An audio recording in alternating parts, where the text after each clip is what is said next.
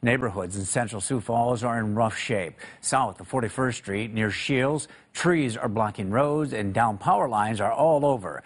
KELOLAND's Matt Holsen takes you to the 44th in Glendale area. Terrible. Ter terrible. It's unreal. I, I can't describe it even. It's, Dale Dorman has lived on Glendale for 43 years, but he's never seen it like this. Emergency crews had to rescue his neighbor last night. She went to the hospital with a neck injury. the roof caved in, and it caught her right in the back of the neck, and they couldn't even get her out the side door. They had to take her through the bedroom window. And that's how they got her out of there. We'll pray for her. About it. Power is out here and just down the road at Ryan Drevlo's house. He's not flipping out about it though. Instead, he's flipping French toast on the grill. Kids got to eat, so got to figure something out. Hmm. trying to get them fed.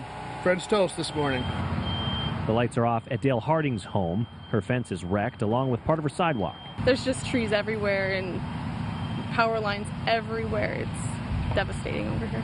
She was awake when the storm came through and will remember what she heard. It's the scariest sound I've ever heard in my life. I'll never forget it as long as I live. While they all wait for power to return, they take pride in watching neighbors helping neighbors clean up. We come together and we take care of each other, and that's all that matters. In Sioux Falls, Matt Holsen, KELOLAND News. Harding says that she thinks it could be days before power is restored in the neighborhood.